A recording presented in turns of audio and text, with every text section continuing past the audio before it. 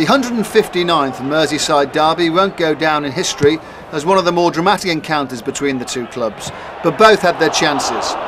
Robbie Fowler's performance proved he is a uniquely gifted player, but ultimately the goalless draw made the prospect of the Anfield derby later in the season even more enticing.